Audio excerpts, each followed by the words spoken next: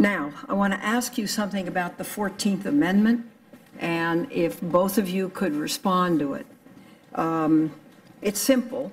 No state shall make or enforce any law which shall abridge the privileges or immunities of citizens of the United States, nor, nor shall any state deprive any person of life, liberty, or property without due process of law, nor deny to any person within its jurisdiction the equal protection of the law.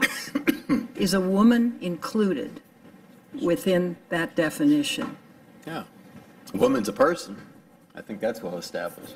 Yeah, the, the, the the issue is not whether a woman's a person, the, the issue know is where I'm what. going. The issue is what constitutes equal protection. Yes, all right. Are women included?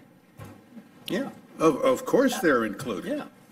Well, let me ask you, But uh, do- does equal protection mean that, that you have to have unisex toilets? I mean, that. No, that's the- no, That's the no, kind no. of question you, you have to get into. this is your quote, uh, Mr. Justice, uh, in uh, California.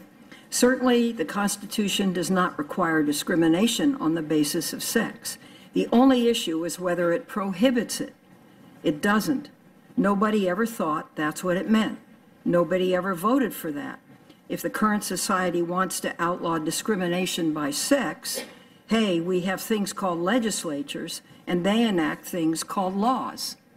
So why doesn't the 14th Amendment then cover women? The, the 14th Amendment. Senator, does, does not apply to private discrimination. It apply, I was speaking of Title VII and, and laws that prohibit private discrimination. The 14th Amendment says nothing about private discrimination, only discrimination by government.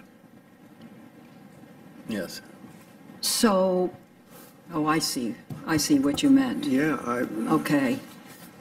All right. Uh, If I can, uh, let- let's go to